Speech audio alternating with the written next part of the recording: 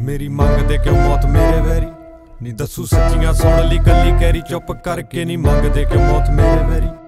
ਪਹਿਲੀ ਗੱਲ ਕਿ ਕਿਸੇ ਨਾਲ ਮੇਲ ਜੋੜ ਨਹੀਂ ਮੇਰਾ, ਬੜੇ ਕਾਰਨ ਡੂੰਘਿਆ ਤਾਂ ਹੀ ਟੱਕ